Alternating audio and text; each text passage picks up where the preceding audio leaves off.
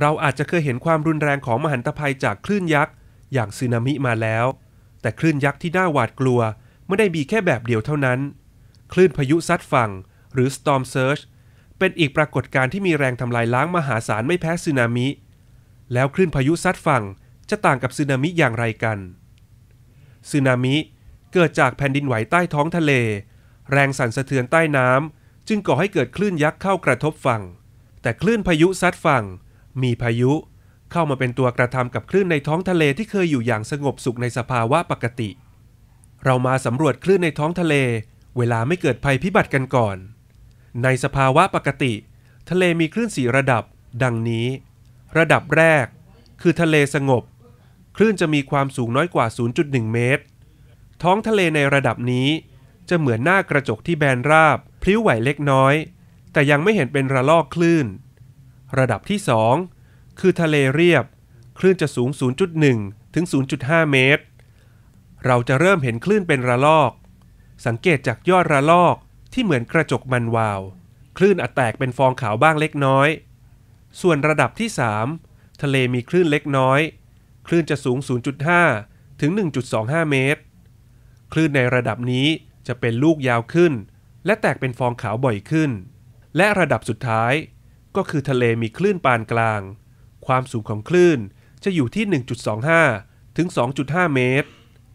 เราจะเห็นคลื่นเป็นลูกยาวๆชัดเจนขึ้น แตกเป็นฟองขาวมากขึ้น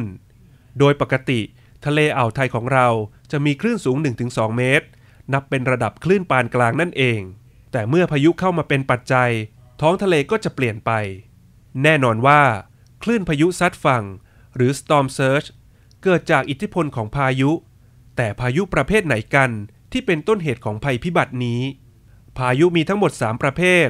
แบ่งตามลำดับของความเร็วลม ประเภทแรกคือพายุ depression ซึ่งมีความเร็วลมไม่เกิน 63 กิโลเมตรต่อชั่วโมง มีโอกาสเกิดขึ้นได้ทุกที่ทำให้ฝนตกหนักต่อเนื่อง และก่อให้เกิดน้ำท่วม ที่ตามมาด้วยก็คือโรคระบาดจากน้ำประเภทที่ 2 คือพายุโซนร้อน หรือ tropical storm มีความเร็วอยู่ที่ 63-118 กิโลเมตรต่อชั่วโมง มีโอกาสเกิดขึ้นได้ทุกที่เช่นกัน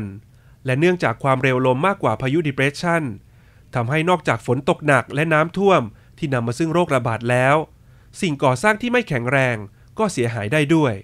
แต่ความเร็วลมของทั้งสองประเภทนี้ ก็ยังไม่มากเท่าประเภทสุดท้าย ซึ่งก็คือพายุหมุนเขตร้อน หรือ tropical cyclone ที่มีความเร็วอยู่ที่ 118 กิโลเมตรต่อชั่วโมงขึ้นไป ประเภทนี้เองที่มักก่อให้เกิดคลื่นพายุซัดฝั่ง เพราะความเร็วลมตั้งแต่ 100 กิโลเมตรต่อชั่วโมงขึ้นไป จะมีโอกาสทำให้คลื่นพายุซัดฝั่งได้มาก โดยพายุหมุนเขตร้อน มีชื่อเรียกต่างกันไปตามแหล่งกำเนิด เมื่อเกิดบริเวณมหาสมุทรแปซิฟิก จะเรียกว่าพายุไต้ฝุ่น เมื่อเกิดบริเวณมหาสมุทรแอตแลนติก จะเรียกว่าพายุเฮอริเคน เมื่อเกิดบริเวณมหาสมุทรอินเดียจะเรียกว่า พายุไซโคลน แล้วท้องทะเลเปลี่ยนแปลงไปอย่างไร เมื่อเจอพายุหมุนเขตร้อน ท้องทะเล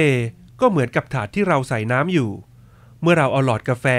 เป่าน้ำลากไปให้สุดขอบถาด ก็เหมือนกับพายุที่เกิดในทะเล แรงลมที่เป่าลงน้ำจะทำให้น้ำยุบตัวลงไปเป็นหลุม แต่ขอบหลุมจะยกตัวสูงขึ้น กลายเป็นคลื่นลูกใหญ่